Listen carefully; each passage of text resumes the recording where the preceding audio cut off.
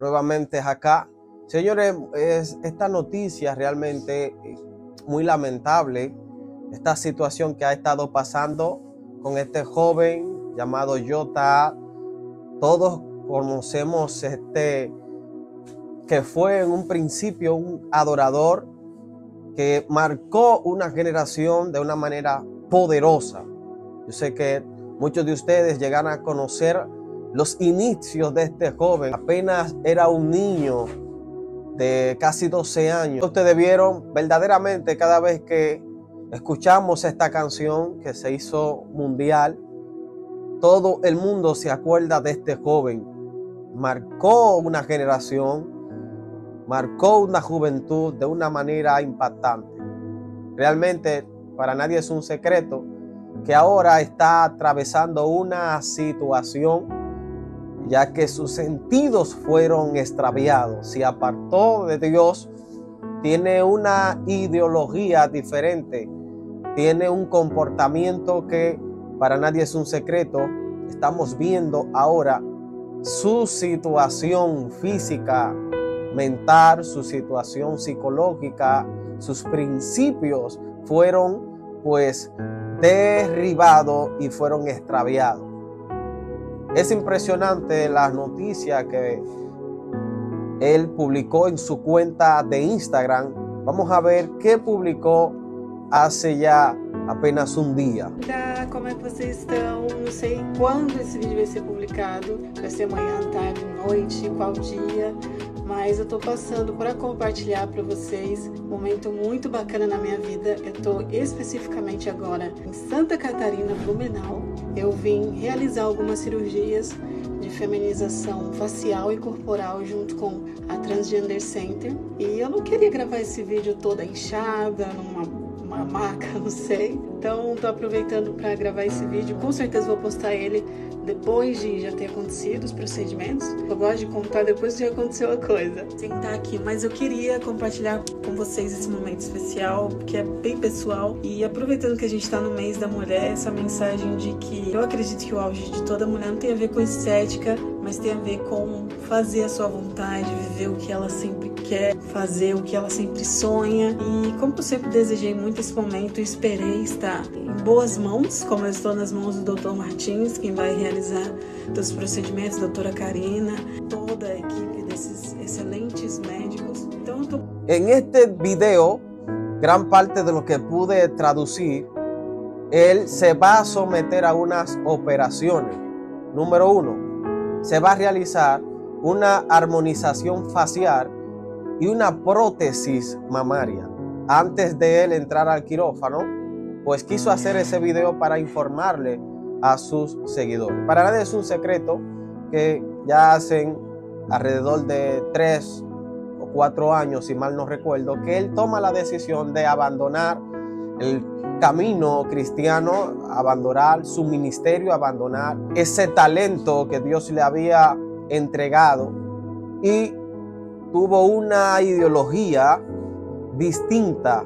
Desde ese momento, pues él se declara, declara su amor a el sexo igual. Esto conmocionó a todo el mundo, a una comunidad cristiana inmensa alrededor del mundo, muchas críticas, muchos, eh, muchas personas con diferentes tipos de opinión, todos conocemos lo que acontece. Mire, el objetivo de este video es para que usted reflexione, para que usted eh, llegue a un momento de su vida y entienda que no es el dinero, que no es la fama, que no es eh, el estrellato, que no es la posición en la que el hombre te puede colocar. Hay algo, si tú no tienes una relación con Dios, si tú no tienes un momento de intimidad con Él, pues para nada sirve. Yo sí aconsejo a todo el que está ahí que nos unamos y vamos a seguir orando por este joven, porque yo creo que lo que Dios depositó sobre él, aunque todos conocemos que fue engañado, está siendo engañado y ahora el proceso quirúrgico que él se quiere hacer de eh, operarse la cara para parecerse más a una mujer, operarse el pecho también para colocarse eh, seno y un sinnúmero de cosas que usted y yo entendemos que está violentando los principios divinos. Varón y hembra lo creó Dios. Y es penoso, yo quiero que usted ore por él, ore eh, en sus oraciones, lleve este muchacho, porque marcó una generación, marcó un tiempo, una época de una manera sobrenatural. Me marcó a mí, marcó una juventud de adoradores que verdaderamente después de esta situación mucha gente ha quedado marcada. ¿Sabe lo que me sorprende? Esa canción que ustedes escucharon, él fue atacado por algo que él mismo cantó sobre los hijos de Eli. Recuerden que los hijos de Eli estaban haciendo un desorden en la casa de Dios, estaban pecando, no se habían apartado del pecado, no se guardaban delante de la presencia de Dios. Y usted sabe lo que acontece. Entonces él dice, los hijos de Eli se extraviaron de la verdad, pero hay una generación que será diferente a ellos. Él en esa canción está relatando de que somos parte de esa generación que no se va a doblegar durante el pecado, no se va a doblegar ante las propuestas y ante aquellos beneficios pecaminosos. Pero para nadie es un secreto que realmente él no pudo poder resistir aquellas pruebas y aquellos deseos pecaminosos.